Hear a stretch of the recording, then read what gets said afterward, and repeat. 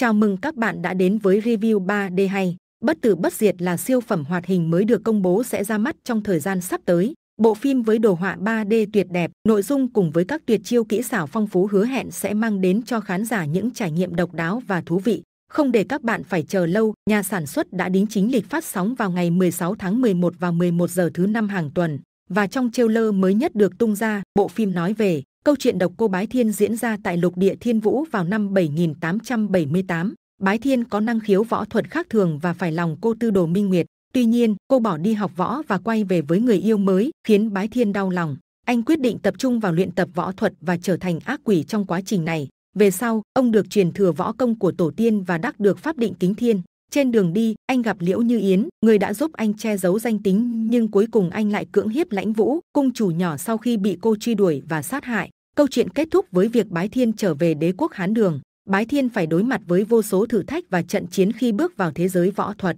Anh ta trở nên nổi tiếng và thu hút những người theo dõi, nhưng cũng gây ra nhiều kẻ thù trên đường đi. Bái Thiên buộc phải đối mặt với quá khứ và thân phận thực sự của mình. Điều này dẫn đến sự thức tỉnh ý thức chiến tranh của anh.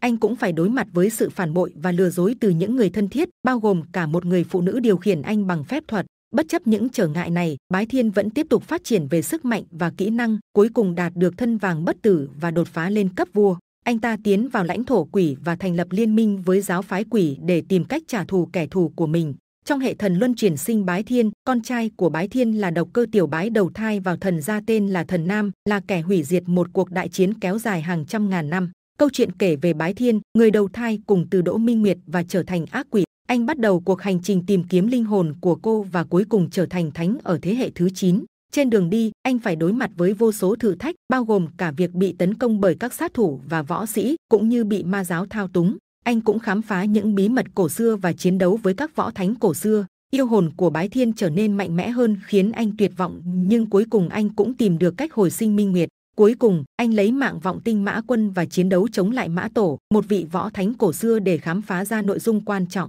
Nhìn chung, Độc Cô Bái Thiên là câu chuyện về tình yêu, sự phản bội và sự trả thù lấy bối cảnh trong một thế giới võ lâm.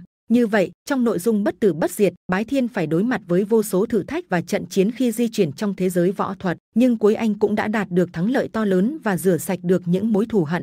Trên đây là toàn bộ những gì mình tìm hiểu được về thông tin lịch chiếu và sơ lược nội dung của Bất tử bất diệt. Các bạn hãy cùng mình chờ siêu phẩm mới này vào 16 tháng 11 sắp tới nhé. Video đến đây là hết rồi. Xin chào và hẹn gặp lại các bạn.